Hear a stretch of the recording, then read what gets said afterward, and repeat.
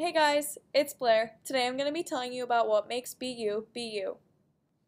As for the location of our university, so we are literally five minutes from Interstate 80, and we are 30 minutes from the junction of Interstate 80 and Interstate 81. Um, we are about an hour from Scranton, so that's a major city in the northeast of Pennsylvania. We are about three hours from New York City and about three hours from Washington, D.C., so we're kind of right in the middle of those two major metropolitan areas. And being so close to Interstate 80, it really makes it such an easy drive to get to the university. So you can see this on our webpage, but I just wanted to let you know um, that we've been ranked by both Forbes and the United States News and World Report among the nation's best um, universities. So you should definitely check that out on our webpage. Um, it's right on the main page. So you should make sure to check that out when you are applying.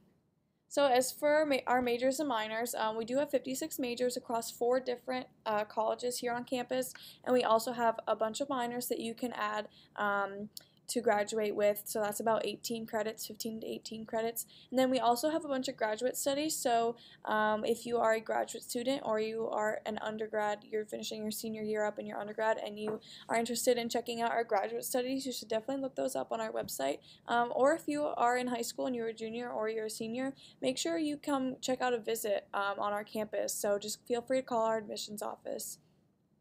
And then personally, what I like about Bloomsburg, so obviously there's a ton of different things that I like about this university. That's why I'm still here.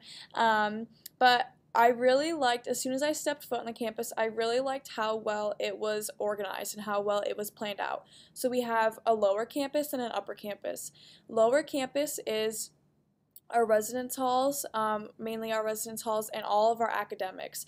So it's split into two. So you literally have an academic quad where all of your classes are going to be around. It's super easy to navigate, and we are on, one of the only schools in the area to have a true academic quad. So that means that your academic buildings are not intermingled with your residence halls, which is really, really easy um, to navigate, I think.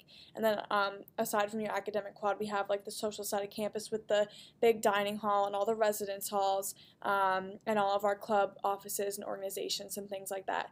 And then on upper campus is our uh, sporting facilities um, for varsity and some of our club and intramural um, fields. So it's super, super easy to navigate. You won't be walking around try to find everything because it's literally right there laid out for you.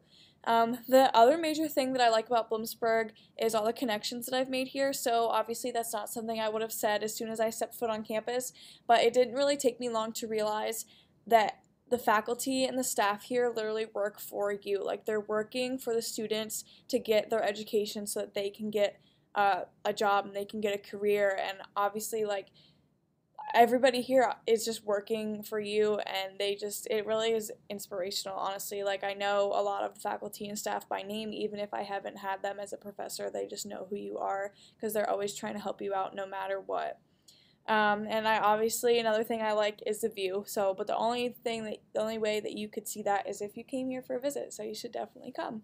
Thank you.